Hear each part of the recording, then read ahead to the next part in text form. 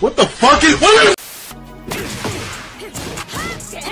This nigga just pressing shit. Look at this shit. Look at this YOLO. What the fuck?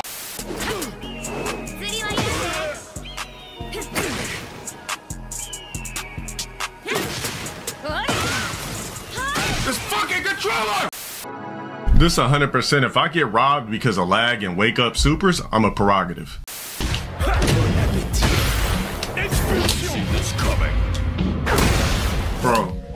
Did you do a motherfucking rage art in my stream?